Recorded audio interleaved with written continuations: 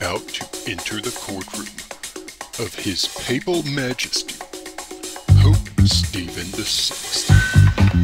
He's the Pope with a plan, and he holds grudges. The cases are real and actually happened. The people are real and most definitely alive. We swear they're not dead. Never do anything like that. This is Cadaver Court.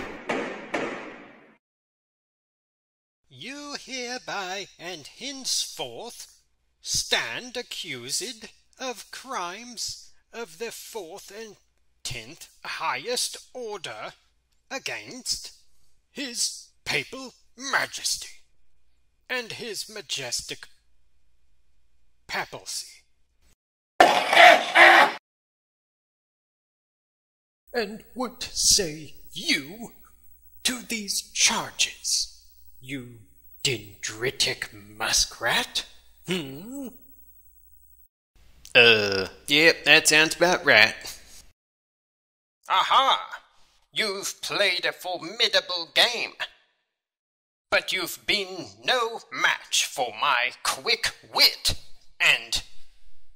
massive intellect. You piece of crap. Nobody's listening, Dad. You have Lord Farquaad here. Shut up! Shut up! You have Lord Farquaad here, you disappointment! Now, where was I? Ah, yes. This idiot. Take that, you twit.